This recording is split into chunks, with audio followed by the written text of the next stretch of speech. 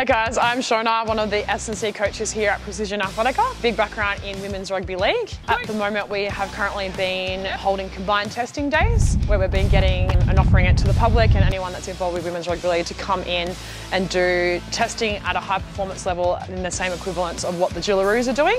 With the amazing access and capability that we've got here, having that system to be able to generate numbers and data to give back to people so that they can progress on the field. Having these numbers and the combined testing days are super important, I think, for the girls' development on and off the field.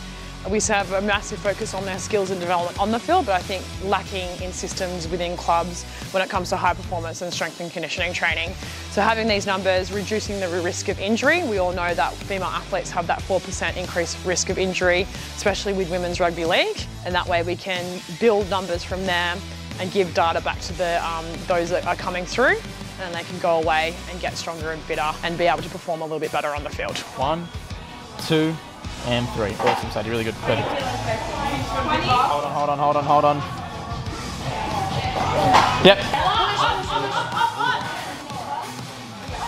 So we've had four days of testing so far with over 30 athletes come through, ranging from junior under 16s all the way up to Harvey Norman level. And then we've had a lot of people still continuing contact. So if you guys want to or are interested in doing it, we offer a range of testing days for teams. So if your whole team wants to come in and do it, that's fine. So just give us a contact or even as an individual athlete, you can pop in and we'll do the same testing equivalent for you as well. That's good.